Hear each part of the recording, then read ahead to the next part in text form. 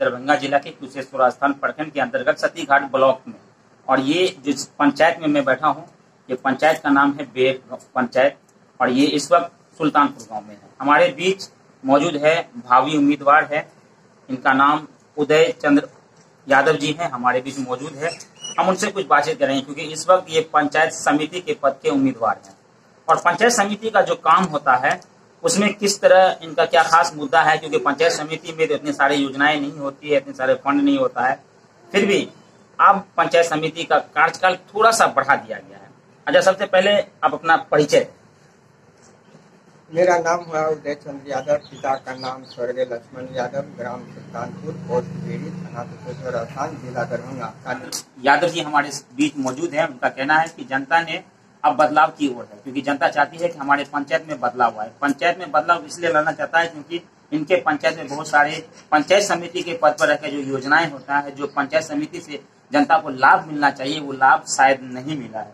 क्या ये बात सत्य है? जी अनेक सा लाभ है आज तक कोई लाभ नहीं मिला है जनता को। जनता आशा से निराशा हो गया आपसे क्या उम्मीद रखे जनता जब आप जीत कर आते हैं तो आपसे भी क्या उम्मीद रखे? हमारे जीत को जब हम आएँगे तो जनता के सामने कभी भी एकदम पूरा विश्वास के साथ मैं कह रहा हूँ कि तो जो जनता का अधिकार मिलेगा वो हम जनता के घर घर पहुँचाएँगे। जनता का आवश्यकता का फुल प्लेट से हम सहयोग करेंगे। लेकिन मैं पंचायत समिति के पद के लिए चुनाव लड़ना चाहता हूँ। जी।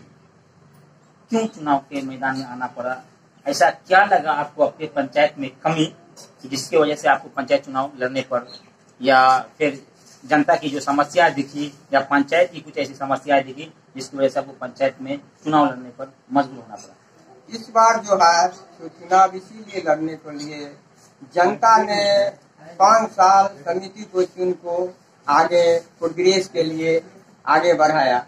लेकिन पाँच साल के अंतर्गत, अब अब की बार जो जनता कुछ नहीं वीर पंचायत में पूर्वी से। एक ठो योजना लाभ सुल्तानपुर रमबारी सनोली अवेर कुमारी, जो भी गाँव है प्रचंडा एक ठो कार्य उस पंचायत में पूर्वी से नहीं हुआ। हाँ इसीलिए जनता उम्मीद किया कि दूसर प्रत्याशी आएगा युवाओं जो हमारा कल्याण होगा वृद्धा पेंशन पारिवारिक लाभ जो भी लाभ होगा उससे हमको सहयोग मिलेगा। जनता ने हमको युवाओं को भरोसा दिया कि इस बार समिति पद के लिए खड़ा होगा तो हम सब तुम्हारा साथ है। यानी जनता का कहाँ गायब हो गए?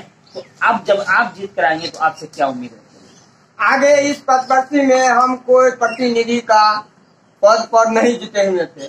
तब पर भी जनता को भरोसा दिलाया कि हम पूरा अनेक सा वृद्धा पेंशन, पारिवारिक लाभ, जो भी सहयोग हमसे हुआ, आवास में जहाँ तक भी सहयोग हुआ तो पूरा जनता को हम सहयोग किए। अच्छा आप अपने कोष से या अपने प्रयास से इस पाँच साल में जनता के बीच में, यानी आप प्रतिनिधि नहीं रहने के बावजूद, आपने कितने लोगों का मदद किया हम प्रतिनिधि नहीं रहने के बावजूद कम से कम 2000 जनता को हरेक बात को, हरेक विचार को, हरेक लाभ को, घर घर जाको, दिन रात पाँच साल हाँ एक मजदूर के नाते उसको संकल्प को दूर किया और हरेक परिवार को अनेक अनेक लाभ पहुँचाया, पारिवारिक लाभ वृद्धा पेंशन कबीर इंडस्ट्री मुखिया से दिलवाया जो भी काम हुआ तो घर घर जाको, जनता को घर बैठे, कागज़ पत्र लेको अनेक सा जहाँ से काम हुआ, वहाँ से जनता को लाभ। हर परिस्थिति में हम वहाँ संघर्ष लड़को, वहाँ तक पहुँचाया।